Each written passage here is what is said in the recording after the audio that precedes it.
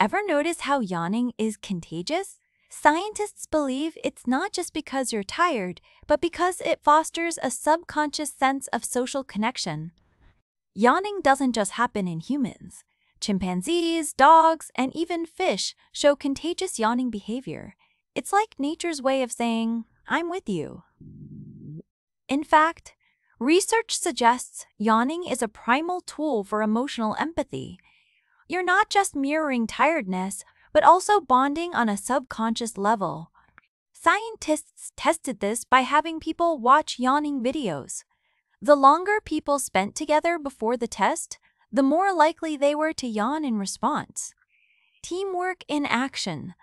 But contrary to popular belief, yawning actually cools the brain down. It's like nature's air conditioner, keeping you sharp during social interactions. New studies show that women may be more susceptible to contagious yawning because they excel at emotional empathy. You could say they yawn the room together. Interestingly, People with higher levels of empathy and trust may yawn more frequently in social situations. It's nature's way of building bridges, not just showing fatigue. Babies don't yawn in response to others until around one year old.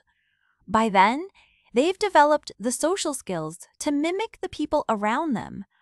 Some researchers even believe contagious yawning evolved as an early survival mechanism. Yawn spread quickly, but so did vital information about being alert. And here's the kicker if you suppress a yawn, you subconsciously weaken that social bond. Sometimes it's better to let loose and share in the moment.